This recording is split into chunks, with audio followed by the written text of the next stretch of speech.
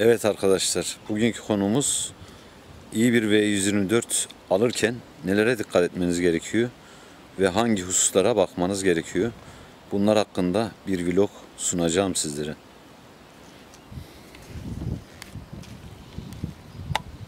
Evet, iyi bir V2, V124 alırken dikkat etmemiz gereken hususlardan bahsediyorum.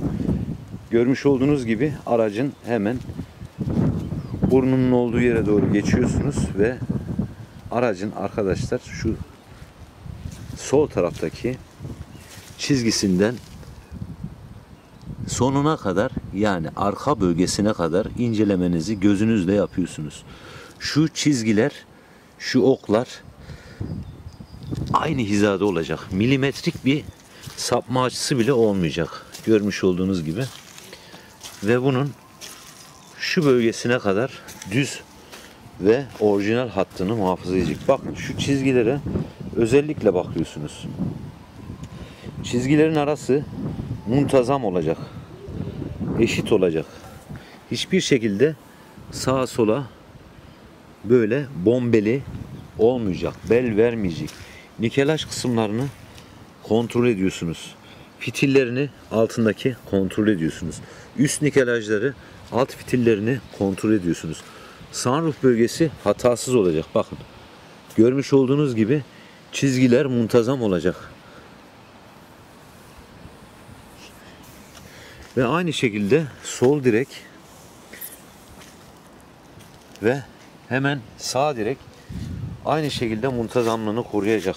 Ön panjur bölgesine baktığınız zaman arkadaşlar şu kupa bölümü aynı şekilde milimetrik muhafazasını yapmış olacak. Farlarla arasındaki açıklık, mesafe bakın hemen şu alttaki küçük metal ile farların arasındaki açıklık mesafe aralarındaki contalar farların hepsi tam ve sağlam olacak. Tamponla şu metal kısım arasındaki mesafe nikelajlı kısım tam ve eşit olacak.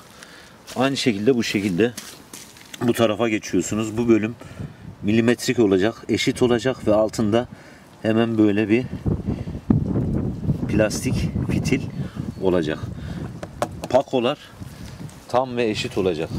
Alttaki nikelaj bölüm buradan baktığınız gibi en sonundan da aynı şekilde net bir şekilde görünecek. Hiçbir şekilde bombeli, çöküntülü, girintili, çıkıntılı olmayacak. Lastikler yeni olacak. Dişlerden kontrol edebilirsiniz. Tabi çamurlu olduğu için pek belli olmuyor. Jantlarınız orijinal 8 delikli olursa makbuldür ama orijinal jant olacak. Bu jantlar tabii ki bu aracın orijinal jantı değil ama jantların kendisi orijinal. Ve aracın iç kısmını kontrol ettiğinizde arkadaşlar hiçbir şekilde kaportanın iç kısmında çürük, çarık ve bunun gibi şeyler olmayacak. Aynalarınız tam ve eksiksiz olacak. Herhangi bir şekilde bu gövde ile bağlantı noktalarında boşluk olmayacak, kırıklık olmayacak. Gayet net olacak, güzel olacak. Bakın şu çizgi aynanın orijinalliğine delalettir şu görmüş olduğunuz çizgi. Bu dışarıyı daha geniş açıyla göstermeye yarıyor. Mercedeslerde sol ayna dikdörtgen şeklinde ince uzun iken sağ ayna kare şeklindedir. Kapıları açtığınız zaman şurada aracın yıldızları var bakın arkadaşlar. Şimdi ben bunları büyüteceğim. Parmağımla göreceksiniz. Gördünüz mü? Bakın. Şu yıldızlar birbirine bakacak bu.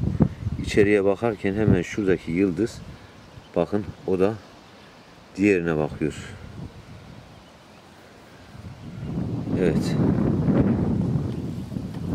Bunlar aracın orijinal olduğuna dair göstergedir, delalettir. Kapı açık, kapalı hissiyatları gayet net ve pürüzsüz olacak. Evet, şimdi diğer arka kapının olduğu bölüme geçtik. Ayrıca bu fitillerin arasını kontrol edeceksiniz. Buralar gizli çürüme bölgeleridir. Bunlara da dikkat ediyorsunuz. Kapanış hissiyatı net olacak. Bagaj bölgesini arkadan kontrol ettiğinizde herhangi bir şekilde kesinlikle ve kesinlikle hiçbir sıkıntı göremeyeceksiniz. Görmemeniz gerekiyor. Hemen şu bölümdeki orijinal açıklık muhafaza edilir pozisyonda olacak. Şu arkadaşlar enferruş kızılötesi bölüm olacak. Bakın orijinal E200'lerde far yapıları ve stop yapıları farklıdır. Diğer V124 gruplarından hemen stopların üst tarafında siyah beyaz renkler ağırlıktayken altta kırmızı renkler hakimdir.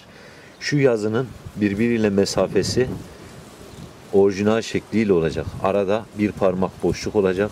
Şunların arasında yine ufak boşluklar olacak. Yıldızın yapısı ve plakanın şu bölümünde arkadaşlar gizli çürüme bölgeleri olabilir. Onlara dikkat ediyorsunuz. Özellikle alırken şu bölümlerde ve şu bölümlerde kesinlikle boya kalkması, çürüme varsa bunları da kontrol ediyorsunuz. Tabii ki bagajın iç kısmı halı kaplı olacak ve bagajın açılış kapanış hissiyatı gördüğünüz gibi hiçbir surette ses vermeyecek. Sessiz olacak. Pakolar tam ve orijinal olacak. Yıpranmamış e, olabilir. Yıpranmış da olabilir. Bunlar yapılıyor arkadaşlar. Zamanla buralarda çarpmalarla boyalar dökülebiliyor. Bunları pakucular yapıyor. Sıkıntı olmaz. Özellikle bu köşelere tabi bazen araçlar gelip çarpabiliyor. Bazen geri geri giderken siz çarpabiliyorsunuz. Otomatik anten araç çalıştığı anda, teyip açıldığı anda çıkmış olacak. Orijinalliğe delalettir. Orijinali Hirschman içindeki motor olur. Anten çubuğu Hirschman olur.